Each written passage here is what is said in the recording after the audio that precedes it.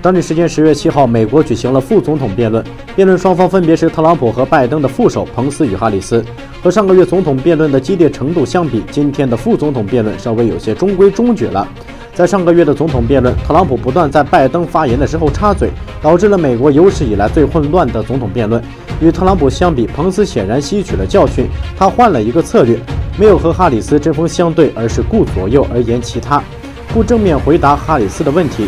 据路透社报道，二人的辩论焦点是各项政策。哈里斯不断在医疗保险、经济、气候变迁与外交政策等议题上发难，指出特朗普政府的过错。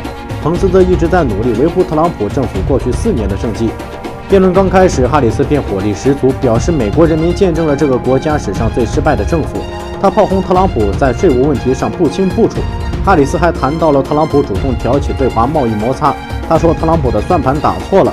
美国在贸易摩擦中流失的工作机会比以往任何时候都多，很多刚从大学毕业的年轻人都在担心能否找到工作，还有很多人正在为下个月的房租发愁。哈里斯认为这些都是特朗普导致的失败。哈里斯在辩论最后强调，作为领导角色，美国需要对盟友守信，但是特朗普背叛了美国的盟友，因为他根本不懂什么叫诚实。面对这些指责，彭斯则顾左右而言他，称特朗普正在做其他美国总统都没有做过的事。据外媒分析，哈里斯和彭斯二人都希望借由这次总统大选，在各自的政党中占有重要的领导位置。二人也都被视为未来可能的总统候选人。目前，拜登的民调支持率领先特朗普约百分之十二，但是在一些重要的摇摆州，两人的差距其实并不大。所以，几次辩论或许是争取摇摆选民的最好机会。不过，尽管两位副总统候选人转变了辩论路线。但是整场辩论由于太中规中矩，竟然被一只苍蝇抢走了风头。据媒体报道，在辩论中有一只苍蝇闯入现场，并在彭斯头上停留了二十五秒左右。